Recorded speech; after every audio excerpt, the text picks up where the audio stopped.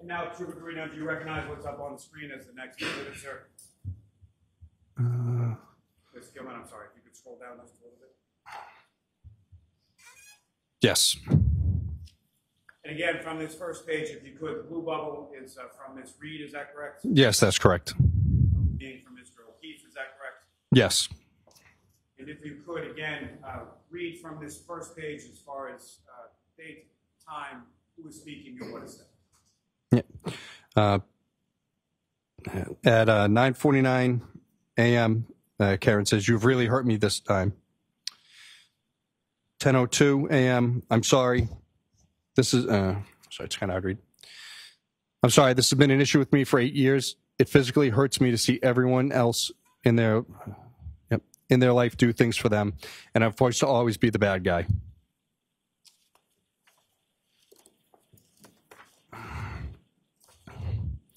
At 10:09 a.m., Karen says, "I am not the same as everybody else. Most of the time, I try to do what is healthy slash smart for them. More importantly, I try to support you and what you need.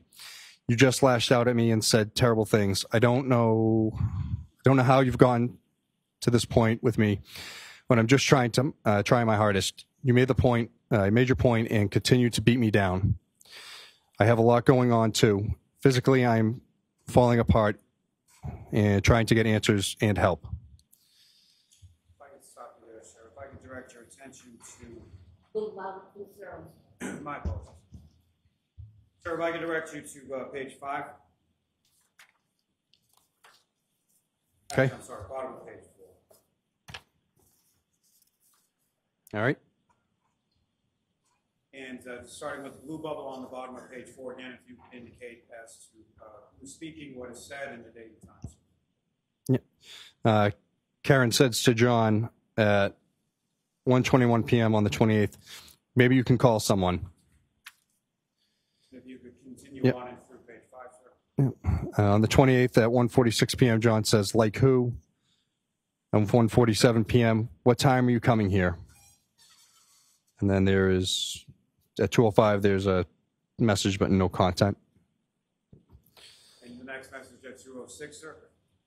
Yes, 206 from Karen. I don't know what time. Feel kind of out of it. Just trying to clear my head. 206 p.m. John writes back, okay. 206 p.m. again. Karen says, text me later when you guys settle in later. Uh, sorry, text me when you guys settle in later. John says, sure, at 206 p.m. again. Karen says at 216, I feel pretty shitty about this. Uh, excuse me. I feel pretty shitty about how this morning went down. I know you said sorry, but it really stung, especially when I've been trying pretty hard lately. I feel like a loser turning around, just coming back over after everything you said. If I could ask you to continue on to page seven, sir. Okay. At 2:17 p.m., John says, "Not sure what else you want me to do. I said I'm sorry, and I was out of line. I, if you prefer to stay home, I totally get it." Karen replies back at 2:17, "Things in my own life have been difficult too, you know." John writes back at 2:17, "I know." At 2:25 p.m., "Tell me if you're interested in someone else. Can't think of any other reason you've been like this." From Karen. You on to page eight, sir. At 225, John responds back, Nope. Things haven't been great between us for a while. Ever consider that? That was at 226. At 229, he writes, Kids are here, not in the mood to talk. And how does the defendant respond to that at the bottom of page eight? So you're not into it anymore. That's fine, but I don't want to keep trying, and you keep treating me like this. At 229 p.m. If I could direct you to uh, the next page nine. Yep. Uh, Ms. Read says, I'm trying to hug and kiss you this morning, and you whack me in the face with a pillow at 229. At 230, she says, Last night you, you're basically like, Yeah, what about? When we talk about the future. So why don't you just admit you're not into it so much anymore? At 230, oh, sorry. Ahead. I said 230, uh, John says, Not how it went down, but okay. Now does Ms. Read respond to that? Can you please admit your head is out of the game, out of the game with us? And if you could, sir, please continue on to the top of page 10. Okay. At 2:32 p.m., sick of, of always arguing and fighting. It's been weekly for several months now. So yeah, I'm not as quick to jump back into being lovey-dovey as you apparently. From John. And then John again at 2:32. Oh my God, stop calling. Okay, Stop you there for just Okay. a moment. sir. With regard to January 28th, um,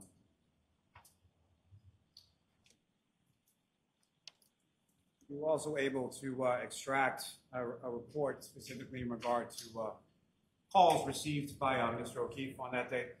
Yes, I was. I mean, on that date into the next date of January 29th. Yes. I approach Your Honor. Yes.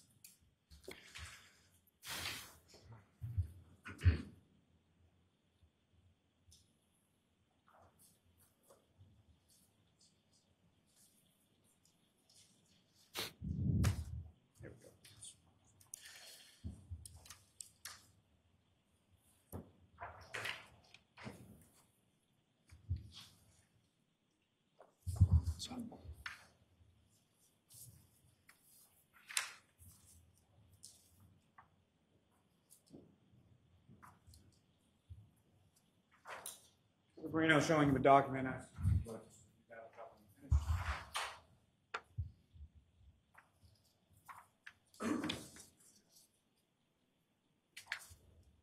Okay.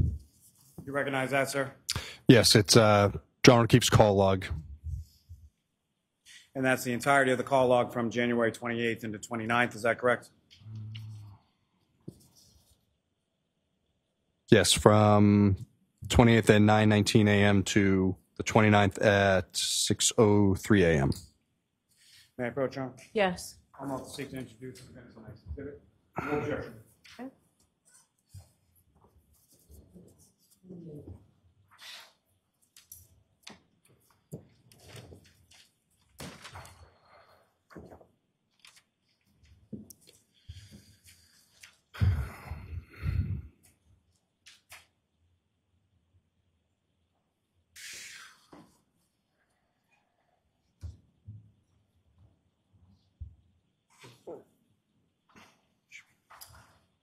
I approach again, Your Honor? Yes. We're now showing you another document. Uh, Just ask you to review that, look up when we finish.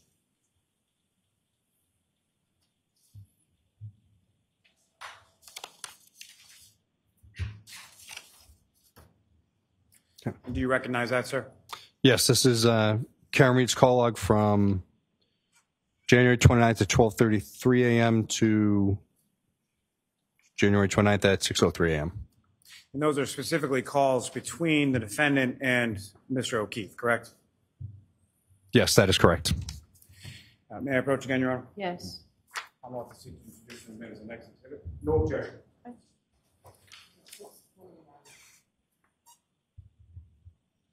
Thank you.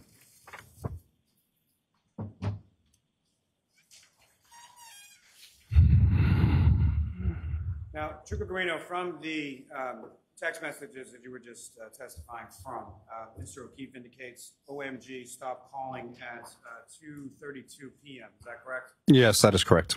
Now, from your review of those uh, call logs, uh, how many times uh, did the defendant call Mr. O'Keefe on January 28th uh, from approximately 9:19 AM to about 2:58 PM?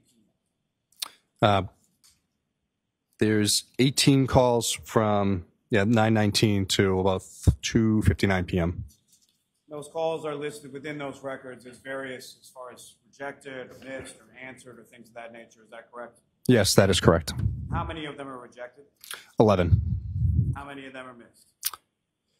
Uh, four, And how many are answered? three.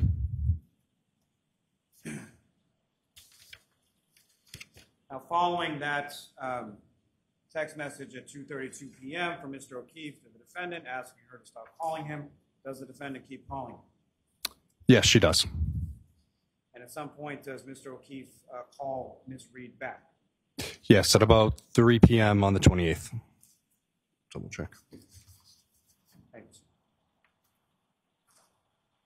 May I approach, Your Honor? Yes. Mr. Green, I can take uh, each of the call logs. but I want you to keep hold on Okay.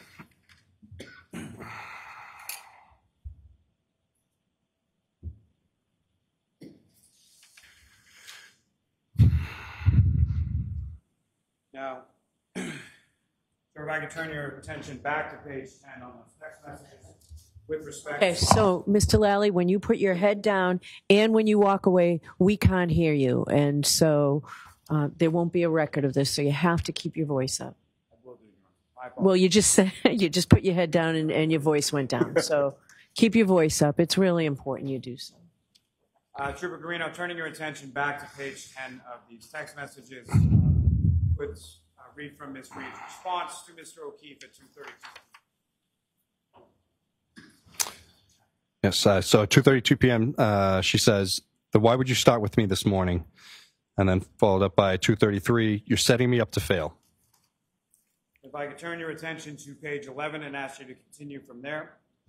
Uh, Ms. Read says, "You start of no, uh, excuse me, you start a number of fights from your end." John, and that's at 2:33. At 2:33, John writes back, "I've explained it a few times already. Not doing it again." How does the defendant respond to that?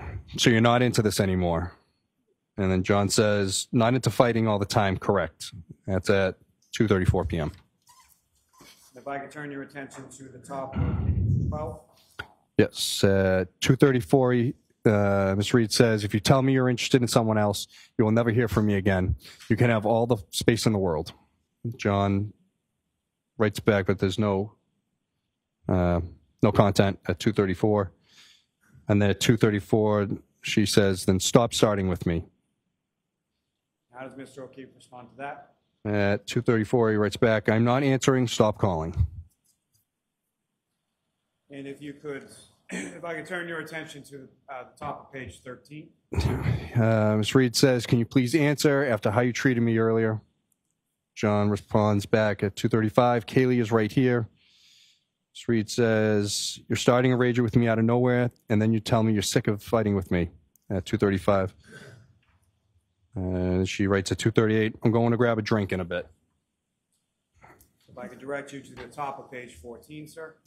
She says, "Can you answer, please?" At 2:38, he writes back at 2:39, "No, Karen. Not sure why you need to announce that you're going drinking, but have fun." Karen writes back at 2:40, "Seeing if you want to meet me later. Can you please call me?" Uh, right after that. And again, if I could direct you to the top of page 15. Uh, John writes back at 2:40, "Have to take him to the doctor. He has practice." Ms. Read writes back, "Yeah, five minutes." Uh, John writes back at 2:43, "My father just walked in." Karen writes back, "Okay, can you please call me for two minutes?" At 2:44. The top of uh, page 16, sir. 244, John writes back, not right now. Karen writes back, I'm there when anyone else needs me at 244. At 246, yes, John, you gave me utter grief this morning. I'd like you to call me for a minutes. And the last one from that page, sir. Yeah. At 247, I've been trying to get over the hump with, ar- uh, with is arguing, and now you tell me you're not into things.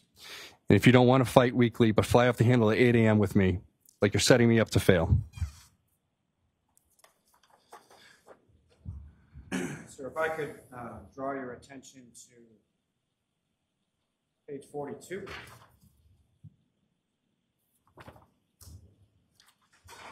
Okay. And sir, if I could ask you to start reading from the top of page 42. Yep. At 7:41 p.m., Karen writes, "Okay, let me know if you end up leaving." John writes back at 7:42, "Why? Now you're not coming?" Karen writes back, "I'm waiting for the plumber.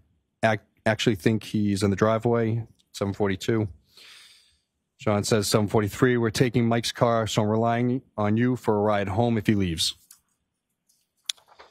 Karen writes back at 7:43, "He's not going home after." John writes back at 7:43, 8 on a Friday. He may have to get Michael. And you have a plumber coming over at 8, knowing me and Papa could have handled it. Good luck. And that was a 7:44.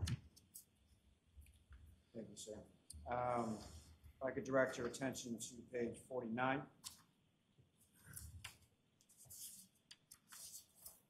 Okay. if I could ask you to uh, start from the page of 49, uh, page 49, sir. 8:29 p.m. Yeah, but he lives uh, right down the road. John writes back at 8:30. Karen, this storm is going to be intense. Can't drive. 8:30. She writes back, okay, well, if he can't, he can't. John writes back, I'll do it Monday. Karen responds at 8:31. Ha! I better not still have this problem on Monday. John writes back, plan on being there. Karen writes back at 8:32. I'd like to know I could take a hot shower here if I need to. John writes back, figured you'd be in Canton until Monday. If I could direct you to the top of next page, 51. John, I'm getting off my phone. Let me know what you're doing. Karen writes back at 8:33. I think the four of us together uh, is toxic to this relationship. Would like to limit it. And says, "You've said so yourself for probably a year now." And John writes back at 8:33. Blizzard tomorrow. Nobody is going anywhere. Sir, if I could direct you to the top of page uh, 52. Okay. Uh, Karen says maybe I'll come back late tonight. Bad snow in uh, is in the early a.m. That's at 8:35, and again 8:35. I'll head up there in a few minutes. Uh, let me know if you leave. John replies back, sure, and then the next one's not until 12:55 in a.m. on the 29th. I'm going home. And the I'm going home is from uh, the defendant, 12:55 a.m., is that correct? Yes, that is correct. And if I could direct your attention to the top of page 53. Yes, uh, 12:55 again. Uh, see you later. At 102, your kids are cucking alone.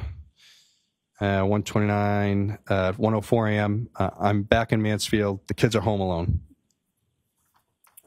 Thank you, sir. Your Honor, may I approach to retrieve? Yes.